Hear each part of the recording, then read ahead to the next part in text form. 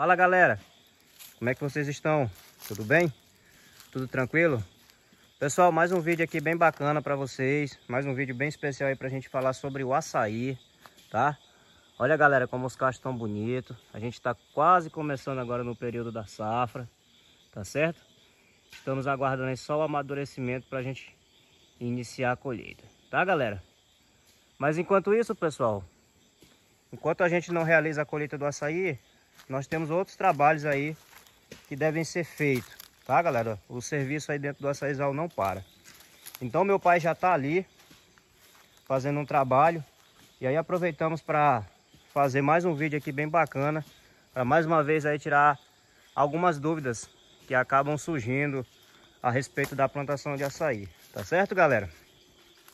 Mas antes de chegar ali onde ele está, galera, é, para a gente dar continuidade ao nosso assunto, eu quero pedir a vocês aí que ajudem a gente aí no crescimento do nosso canal, tá galera? Se inscreve no canal, deixa o like para poder apoiar o nosso trabalho aí, tá pessoal? Nós estamos aí chegando já a quase 5 mil inscritos. É, fico muito contente que vocês acompanham o nosso canal aí e sempre apoiam o nosso trabalho, tá galera? Olha os cachos de açaí aí como estão bem bacana. Aqui a gente sempre traz dicas importantes aí, ó. É importante você trabalhar direitinho, fazer o manejo correto para que você tenha um bom resultado. Tá, galera? Então vamos lá bater um papo com meu pai e ver qual é a dica de hoje. Olha, pessoal. Observem que o nosso açaizal é bem alagado, tá? E muitas pessoas aí... Olha, galera. Caixinho pequeno aqui, nossa açaizeira bem baixinha, ó. Muitas pessoas têm a dúvida de como é feito o plantio é, em locais alagados, tá?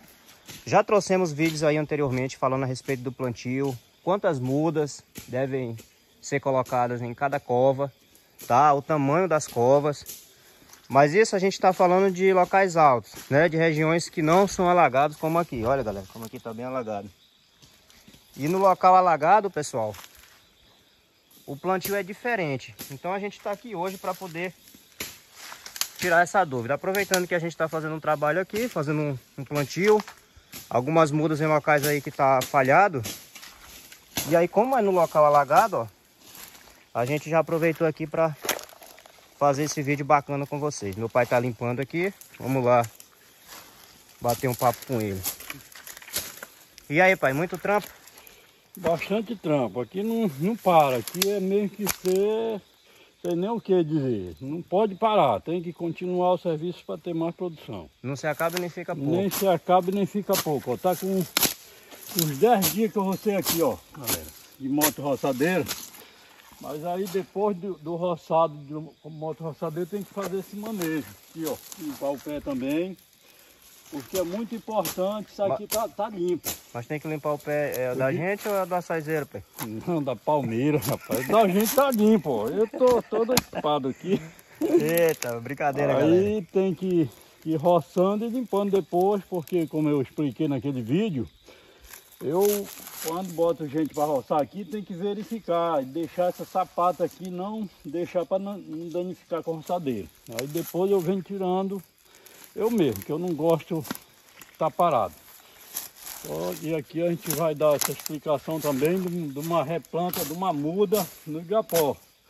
Que não é todo mundo que sabe plantar o açaí no igapó.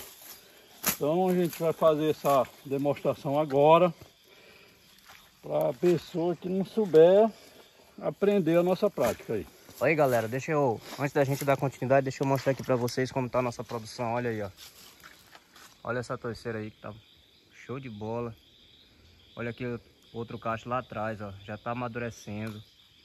Olha aqui, pessoal. Olha esses cachos aí. Tá, galera? É importante trabalhar direitinho aí, fazer o manejo correto. Aí você vai ter resultado. Então vamos lá, pessoal. Vamos falar aqui do nosso vídeo de hoje, do nosso assunto. E aí, pai? Explicar aí como é que faz o plantio no alagado, não é isso? É.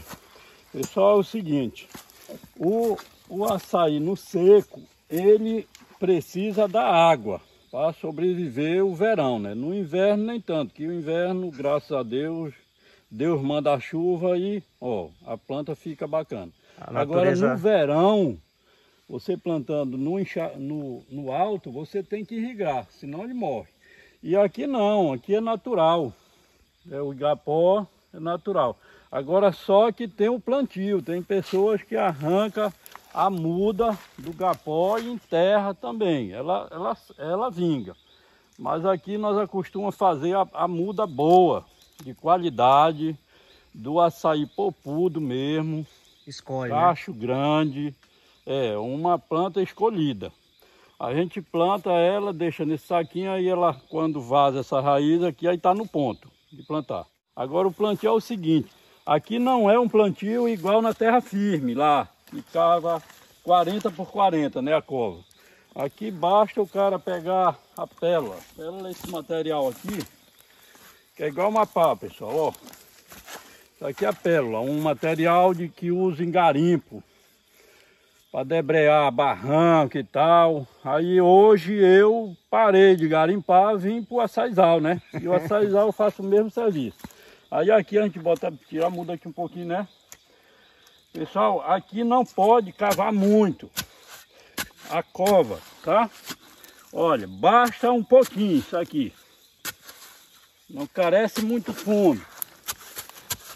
Aí daqui ela vai se encarregar. Isso aqui é uma areia, mas depois dela enraizar aí, olha aí, tá pronta a cova. Galera, ó, observem que o, o, a cova que meu pai fez aqui já está enchendo de água. Então essa é a diferença entre você plantar em um local alto e plantar no alagado. Por isso que no local alto, pessoal, a gente faz a cova de 40 por 40. Porque geralmente é um barro duro. Então você faz uma cova grande para poder fazer uma adubação, né? Para a planta se adaptar naquele local. Já aqui no alagado, é, se você fazer uma cova aí, for fazer uma cova de 40 por 40, a planta vai morrer. Por quê? Olha aí como já está enchendo de água, galera. Tá? Então, quanto mais alagado for, menor vai ser a cova. Tá, pessoal? Olha aí, ó. Aqui não vai demorar muito.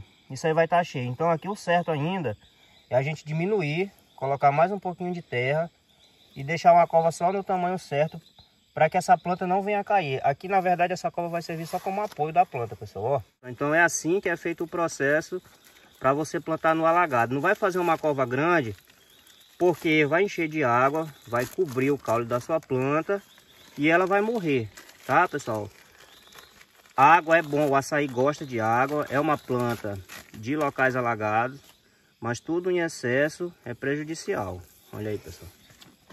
Vamos fazer o plantio. mais uma perninha aqui para completar para ele não... Tá aí, pessoal, ó. Porque assim, muita gente, nós mesmos já explicamos, a gente sempre explica que o correto é 40 por 40 uma cova, né? Duas mudas por cova.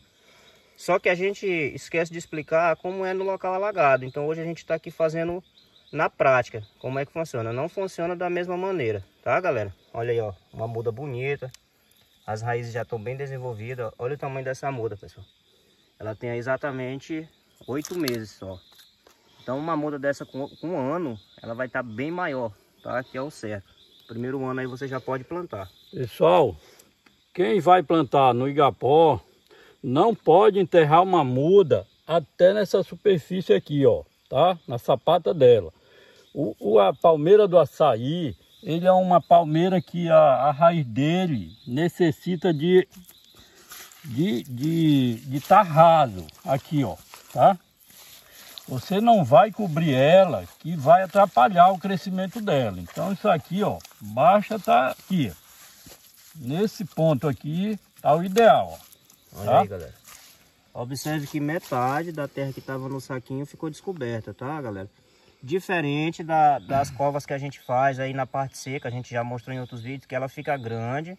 A cova a gente coloca é, o adubo, coloca o esterco do gado e ainda fica uma parte da cova sem completar. Que aí no inverno, quando chove, ela enche ali de água né, e mantém a umidade no pé da planta. E quando você irriga também. Aqui no igapó não é necessário, porque aqui ela vai encher já sozinha aí com o trabalho da natureza. E a água tá aqui mesmo, galera. Olha aí, pessoal. E aí, no caso, se você deixar a cova cheia, né, todo o tempo, vai matar a planta. Vai, mata.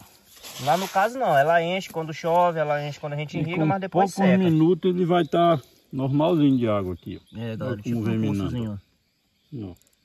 Tá vendo, pessoal? Olha aí. Graças a Deus que a gente tem essa água abundante aqui, gente, viu? E aí, pai? Finalizado o trabalho, finalizada a explicação? É, por hora está finalizado o trabalho da filmagem, né? Mas eu vou continuar na limpeza aqui, porque senão o pai Luiz vem, compra e não dá produção para mim. O que eu quero é, ó, embolsar real, pessoal, tá? Se deixar o mato cobrir, aí não vai dar a produção que a gente quer. Olha aí como tá isso aí.